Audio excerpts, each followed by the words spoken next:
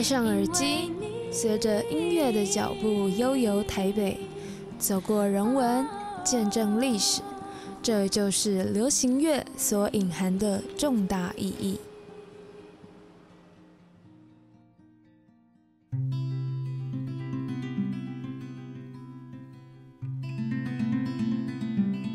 走进唱片行，琳琅满目的专辑，一张张说着不同的故事。透过不同时代的歌曲，我仿佛走进了时空隧道，感受着不同时代的音乐喜好，更在歌词里听出专属于当时的社会氛围。流行乐不仅仅是音乐，更是记录人文历史的美好调味。台湾流行乐曾经是亚洲华语音乐的指标，在最鼎盛的时期，有过许多知名的音乐品牌，例如滚石啦、Sony、BNG、角头、魔岩，他们造就了许多的音乐人还有歌手，让他们的音乐在华语世界被更多的朋友听见。今天我们要介绍的扩尔音乐负责人小韩老师，在台湾华语音乐界数十年中扮演着极其重要的角色。他就是扩尔音乐负责人韩罗贤小韩老师，更是知名的艺人推手，如玉女偶像许慧欣、偶像团体 K ONE、王丽人、钟欣怡等。都是在小韩老师培训之下蜕变成长。你的我多想要再次保留纯粹的感动，到头来留下这些无法呼吸的沉默。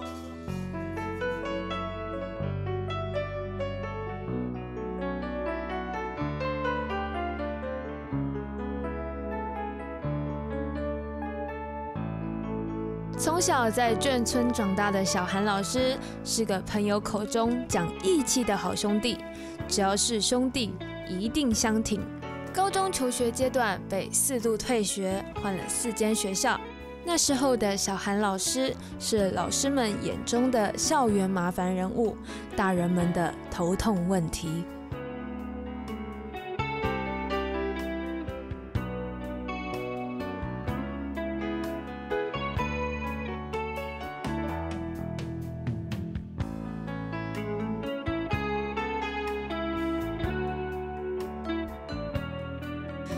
有一天，小韩老师看见学长弹着吉他，大受女生欢迎，竟勾起了小韩老师的好胜心，也激发了他对音乐的好奇心。于是，小韩老师硬拉着朋友一起玩吉他。一开始，大伙纷纷不看好他，认为他只是三分钟热度，过一阵子就会放弃了。却没想到，小韩老师一脚踏进了音乐的国度，一走就是数十年。不仅改头换面，更透过音乐改变了许多人的人生。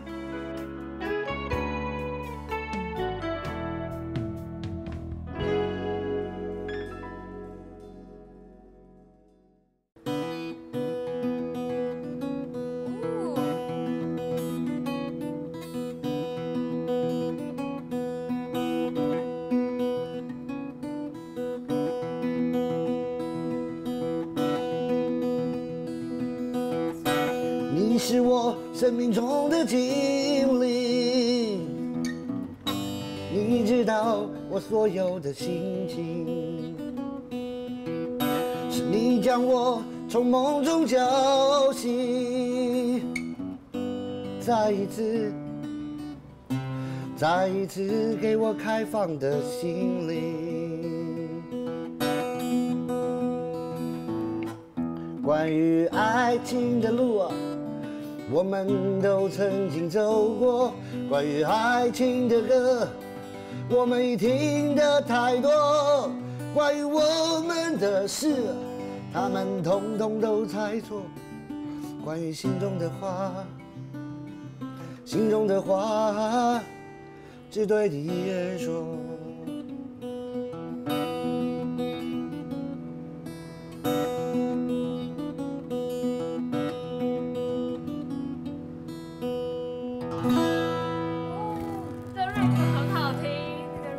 个 rap 李宗盛的歌，李宗盛的歌，好了，来来来，换你了，换你了。啊好，再来一首我自己写的歌，好叫做《黑羊白羊》。要过桥吗？对，哦，好，OK。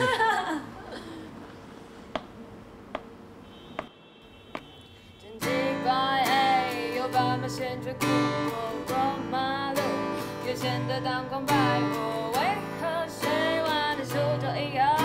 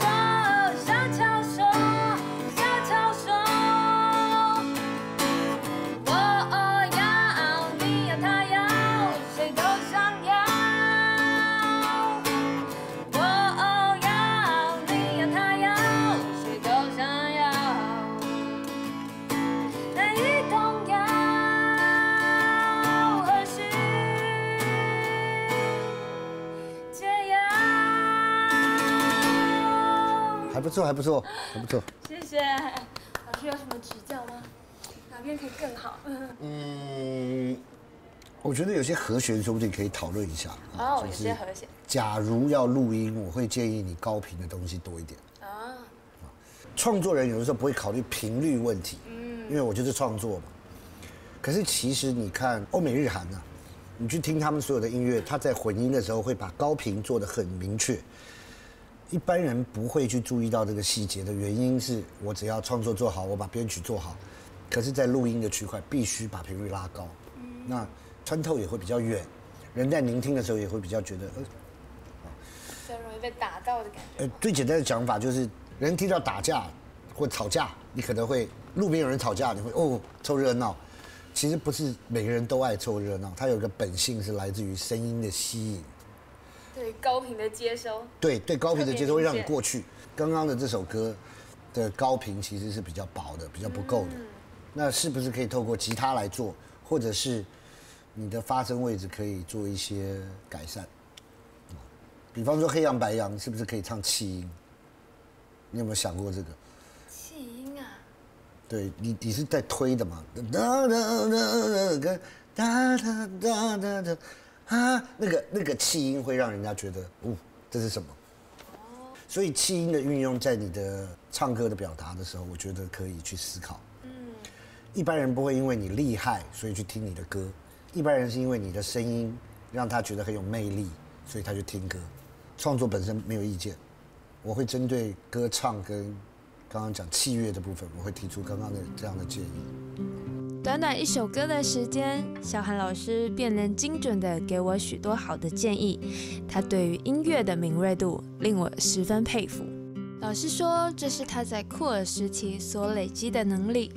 在那段日子里，每周听几百首 demo 是稀松平常的事情，而在千万首歌曲当中挑选出适合歌手的歌曲，更是家常便饭。也因此练就了一身独特的记忆能力。我们今天来到业界数一数二的专业录音室。今天小韩老师呢，跟一位重量级的嘉宾在里面工作。我们去一探究竟吧。哇，你可以看到好多人的签名在这边哦，这就是来这边的音乐人呢，在这里留下了名字。可是签名好像都有点乱呢，看不太清楚。大家可以自己找一下喽。最近状况怎么样？最近状况脱离了福。嗨，小韩老师。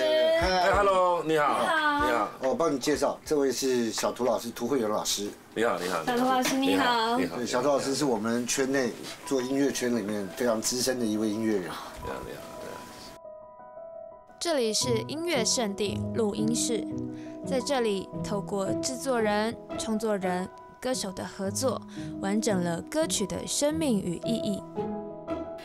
很荣幸呢，邀请到一位非常资深的音乐人来跟我们一起聊天，欢迎涂慧源老师。啊，我们知道两位老师长期合作，那一起合作过的呃歌手有哪些呢？小朱老师，你先讲，你记得？我我有很多记忆可能错误啊。嗯。对。那那我我我记得啊，应该当时呃小安老师在呃滚石那段时间，我们有合作过小齐，然后林忆莲，然后还有的顺子。对，顺子是顺子。是比较呃多一些的互动，对而且包括呃像苏慧伦啊都有。慧伦好几张，当时的呃状态啊，就是说，呃，我们不太可能就是 就是太固定。比如说今天可能呃做苏慧伦，他手上可能嘎三张片，嗯，他一次可能就是说没办法，就是说每张专辑的歌都挑好，对不对？嗯。所以他可能就哎，涂老师，我们明天就插另外一首歌。对所以我们的画面的转换要非常快速。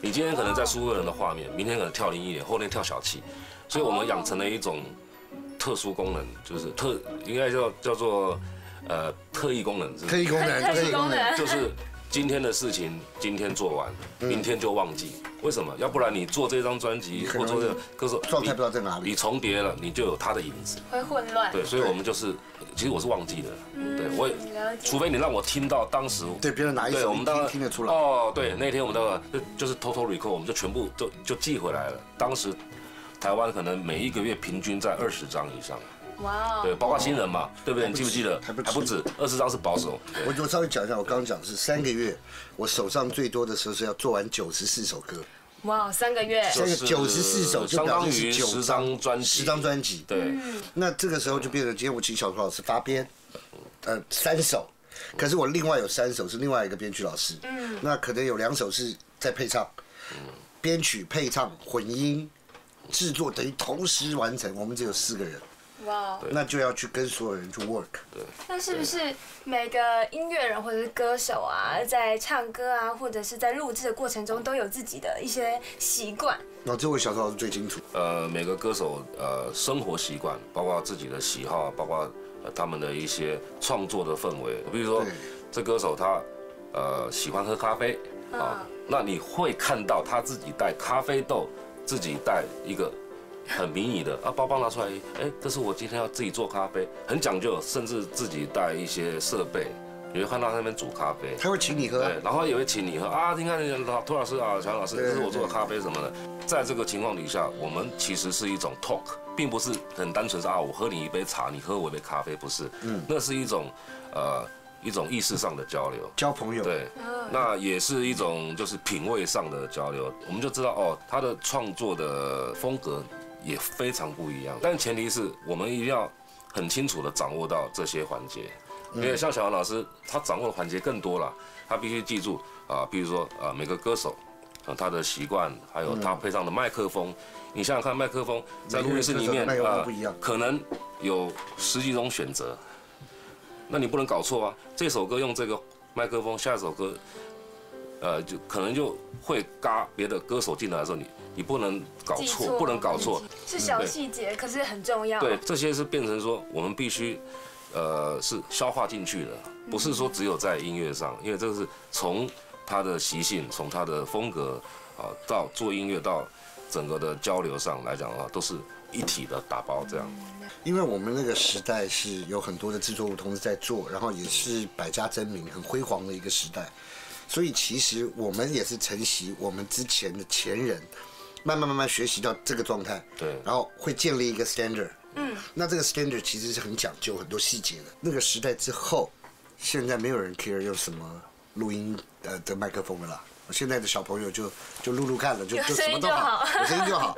呃，这个或者是现在的录音室的规则也不像我们以前那么的讲究，大家呃，大家随随时在家里就录掉了，其实这是可惜的。嗯，呃，我们那个时候的讲究，其实出来的作品啊，小托老师有很多的作品都很隽永，它可以流传到一个时代甚至两个时代。谢谢小杨老师。不要客气的，那那个那个细节不是光，呃，我编了一首好歌，或者我制作一首好歌，它有很多的细节。刚刚提到你用的麦克风，你用的乐手，嗯，小兔小兔老师时代，我们那时候在看，有四个很有名的，我们叫四大编曲哈，小兔老师、王继康老师、王玉明老师，还有谁？那个钟新明老师钟新明老师、Baby 老师。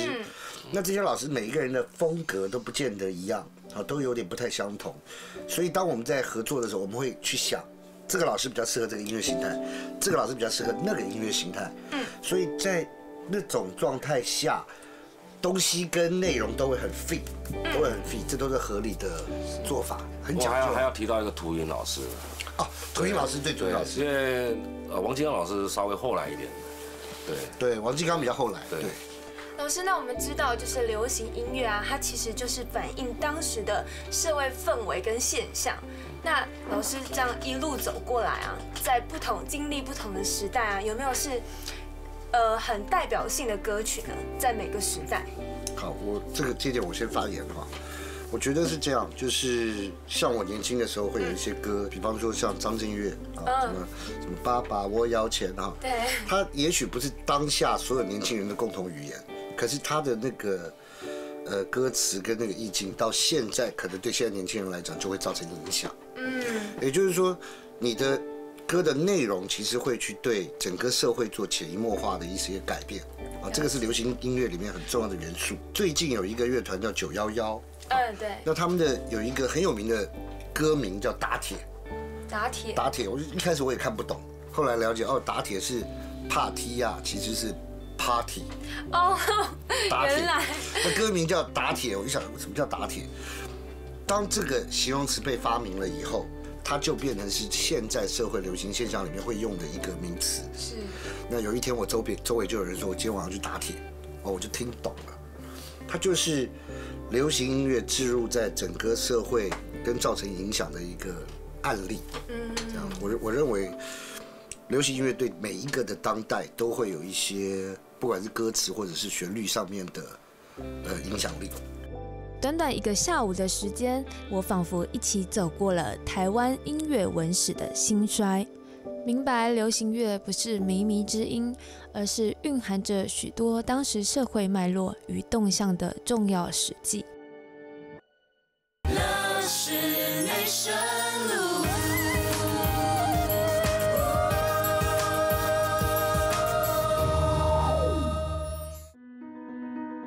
卸下音乐制作人的身份，小韩老师更是一位令人可敬的梦想导师，教导着许多有歌唱梦的青年。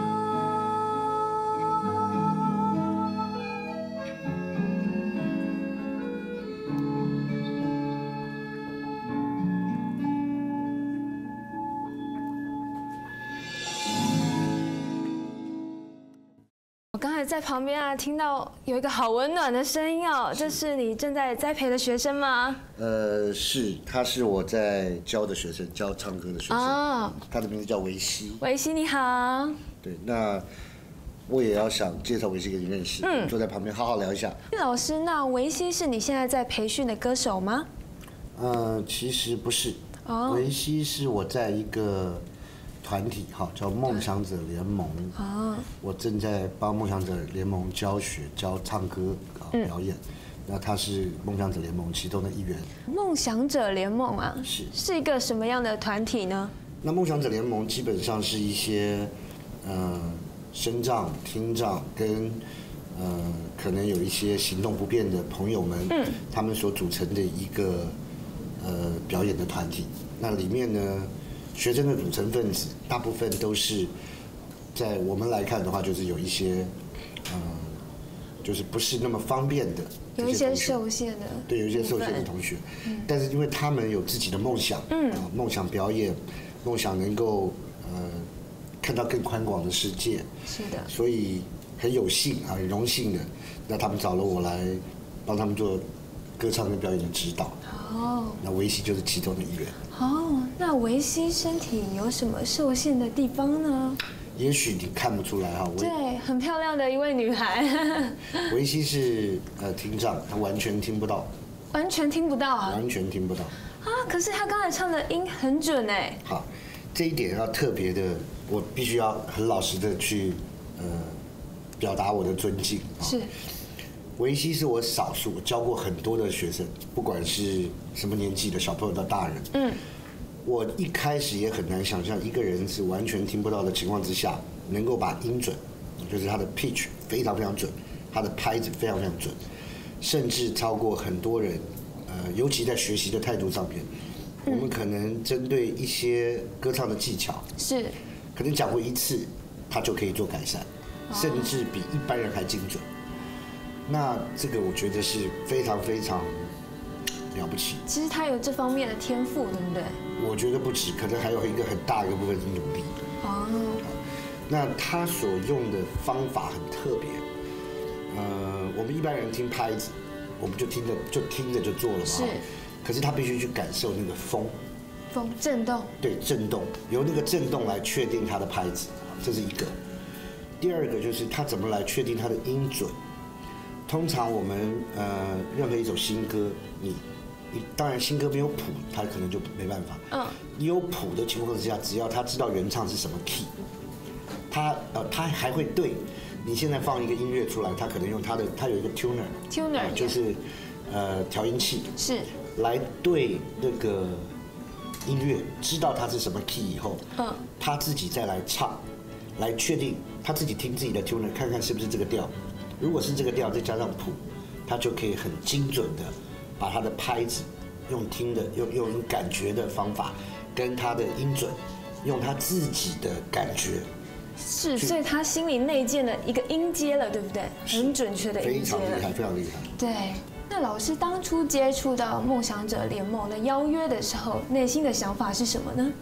那梦想者联盟第一次邀约我来的时候，我以为我第一个念头是觉得我不知道我能不能胜任，嗯，因为毕竟我并没有这样的经验。是的，那不管是呃后来碰到的一些学生，我都发现他们其实比大多数人都要更努力，可能是因为他们对梦想的坚持比一般人更坚持。嗯，所以在学习表演的过程中间，我觉得我在我在教学的过程中间，我也看到他们的表演，我觉得会让我嗯分外的感动。然后在这个过程中间，我很快乐的去做这件事。哎，老师，那我刚才看到你教维西的时候啊，你教唱歌的时候是用画的，对不对？用写的。是，呃，因为维西的，我我们刚刚讲，因为他耳朵听听不到嘛哈，所以我们在沟通歌这个事情，尤其是口气，就会比较比较需要用一点方法。那什么样的方法能够让他比较能够理解我要表达的哈？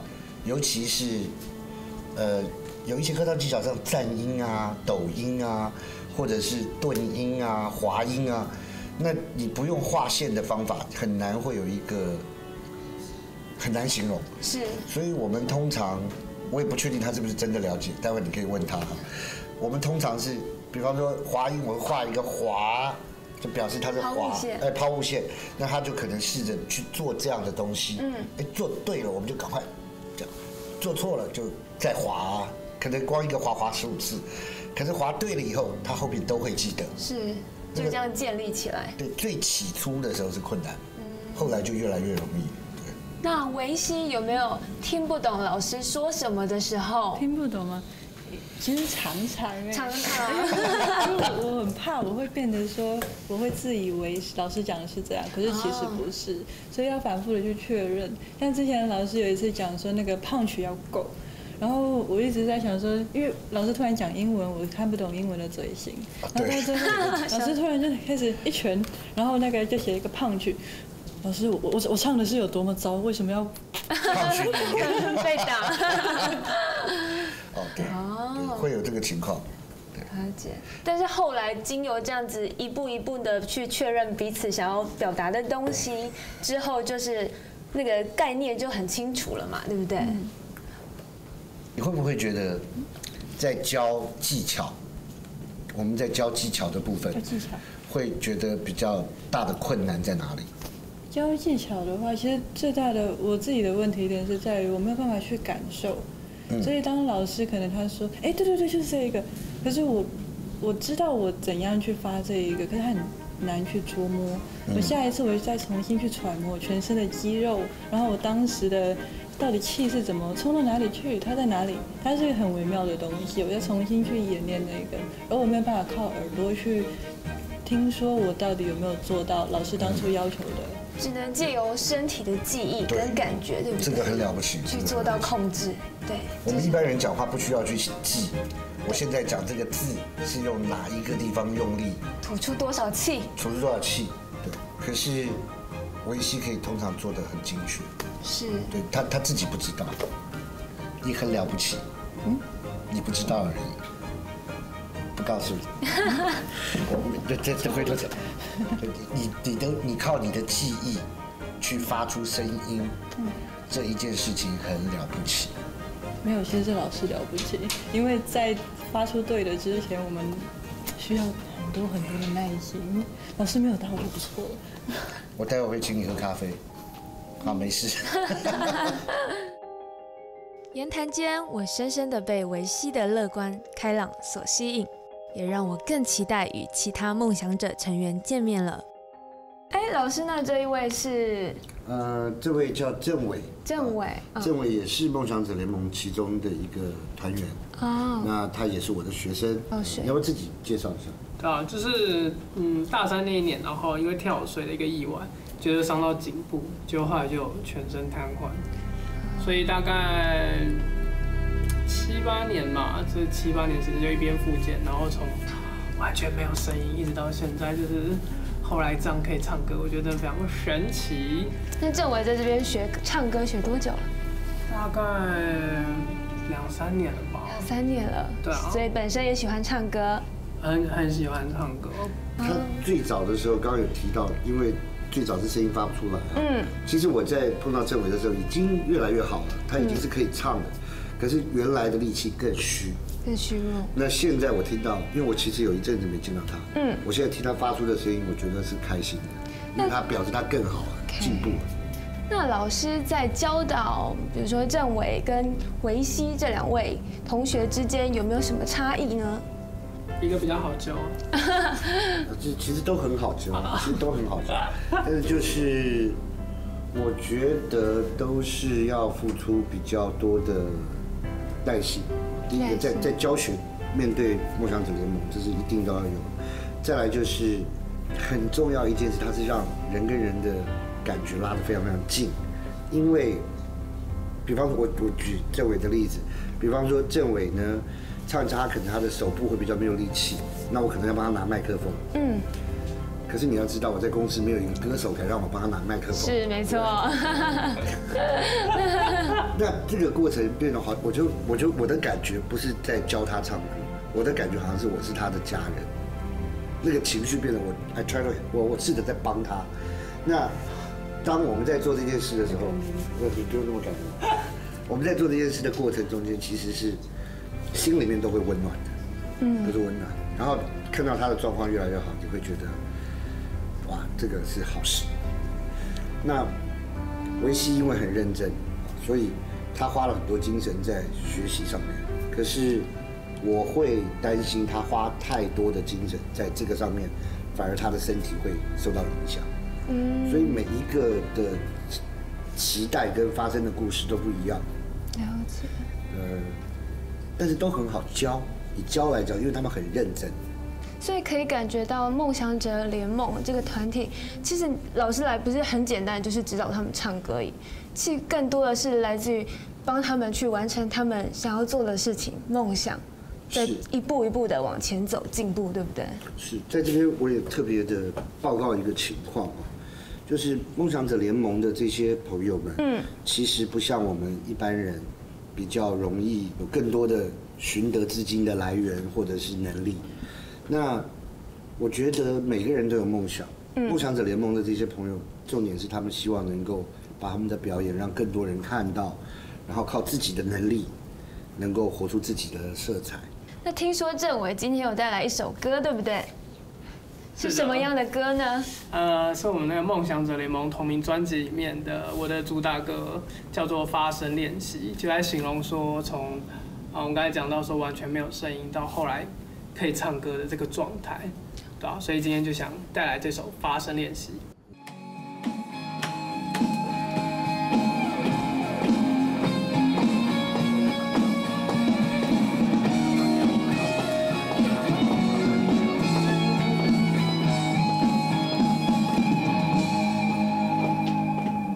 天空缺掉的一角，让太阳找到运行的轨道。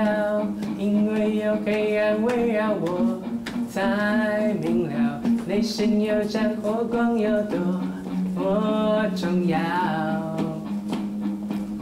望着却变的拼图，我怀念曾经完整的美好。难走的路人总很少。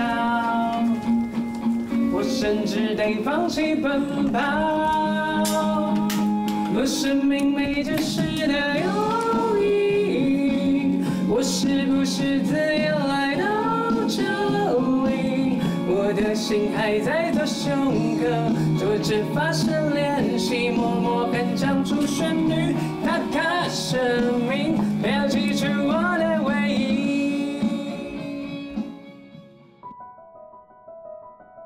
如同小韩老师说的，梦想者联盟的成员们在追梦的路上并不容易，除了自身的心态，更要克服许多困难，但他们依然不愿放弃。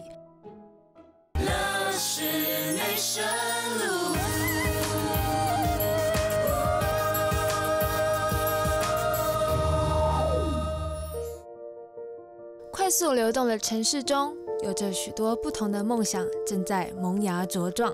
跟随小韩老师的脚步，我们来到了练舞室。他们是 K 打艺能专门训练学校所训练的艺人。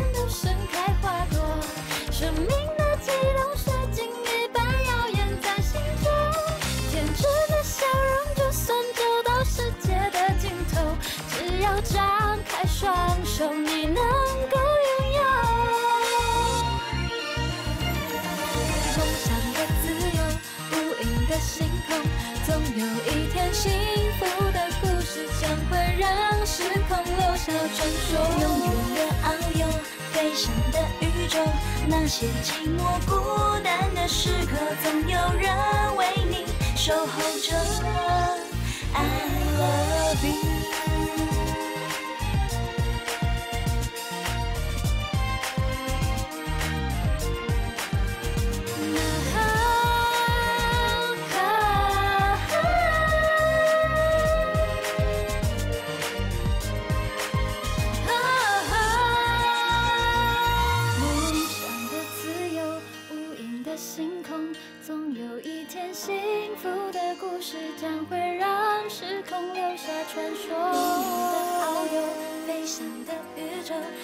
些寂寞孤单的时刻，我们会一直陪伴着。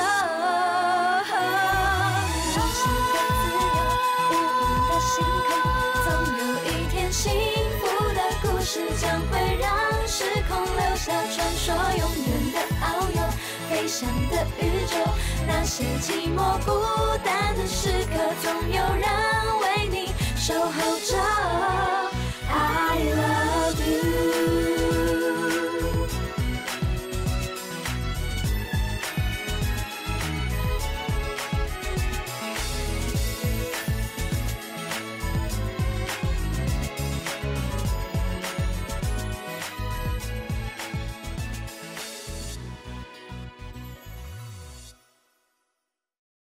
们四位女孩子叫春英，春英，春英是我们在新培养的团体。嗯，哇，好美的名字哦。那老师可不可以帮我们介绍一下团员呢？当然可以。第一位为你介绍柚子，柚子的歌唱的非常好。谢谢谢谢。第二位是妙妙，妙妙是吃素的。哦，吃素。大家好，我是妙妙。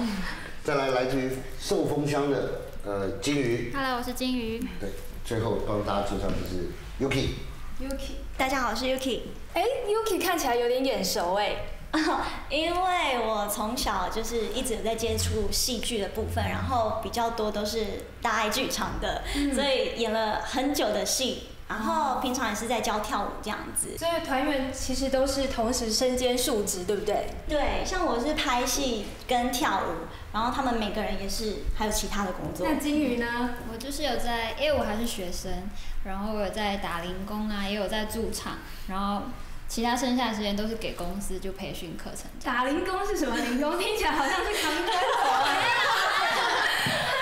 就是餐厅服务生之类的，啊小小的工作这样。那我们的妙妙，妙妙，嗯，我目前有在小学教书跟教社团跳舞，这样教小朋友跳舞。也是老师。嗯，对。应该可以特别强调一下，他是特教的老师，嗯非常有爱心。对，特别教育特殊教育。对，那我们的柚子呢？我有跟着小韩老师一起跑过经济，跑过经济 跑过经济宣传，对，然后呃也是有接过一些打工，还有教儿童歌唱，然后现在是在生技公司上班。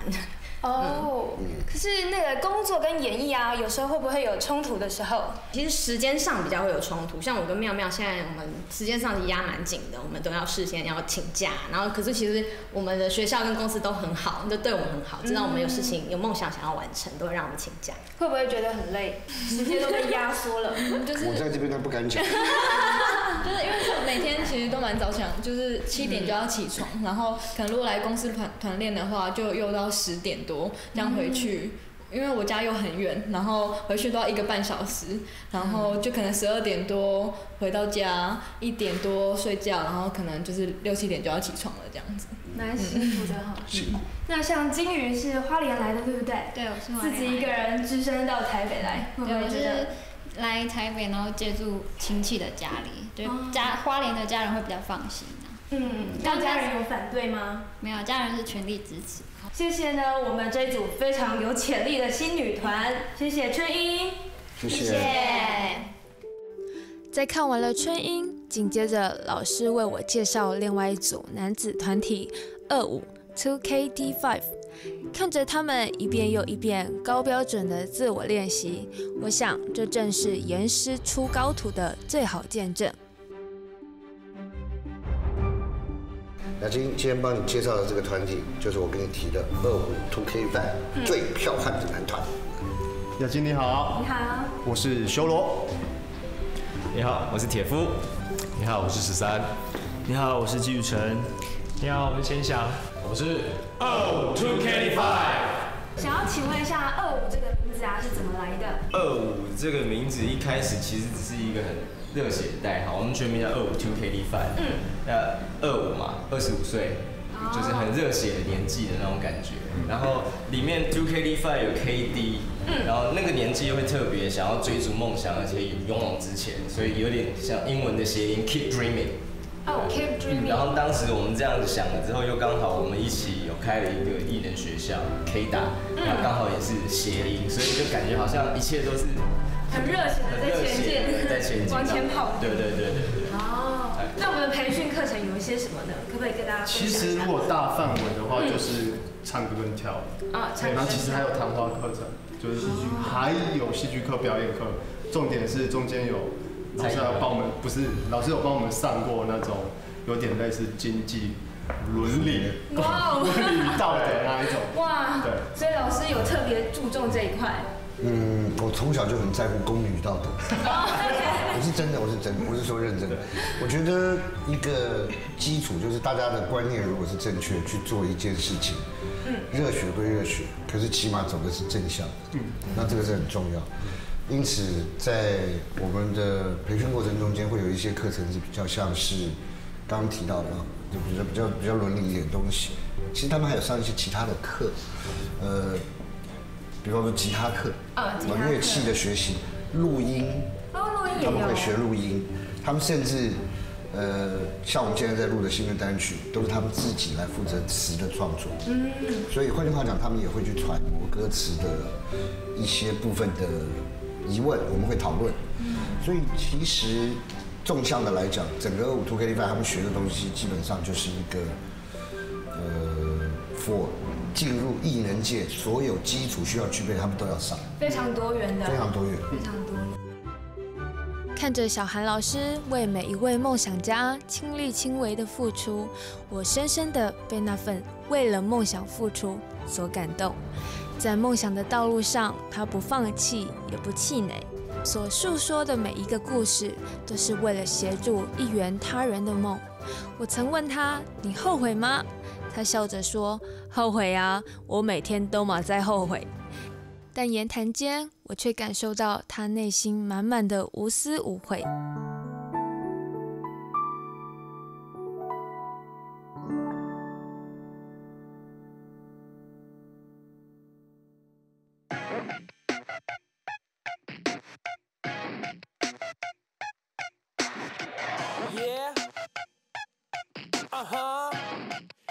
It far. 我没有车子又来，都说做音乐的没情感怎么办？你说我穷疯，I don't give a what？那一天等我发达，你会 shut up？谁看我从头到脚都没有名牌？Come on，右边点就是我的最爱。右边来往上去，还练手 party rock。是打 KT House 就是你的 one shot。惹人爱着无奈，太阳光好像读了许多书，在深夜穿上我另外一个身份，传说在 party 之间非我莫属。一起嗨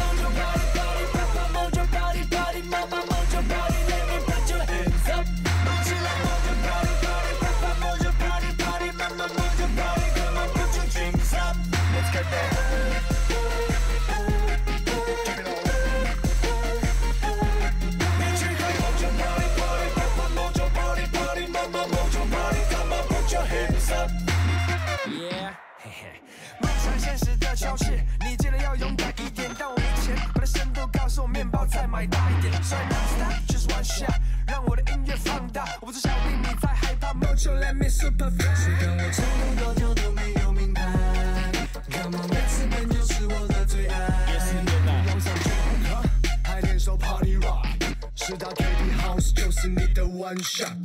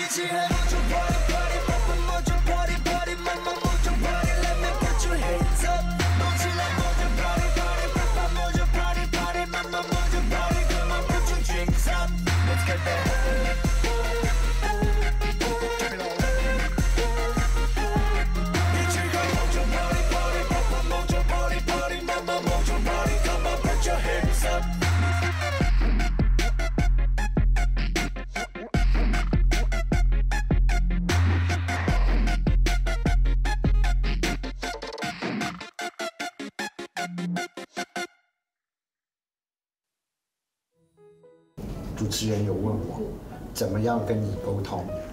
沟通吗？对，呃，就是因为你听不到，那我们怎么来沟通？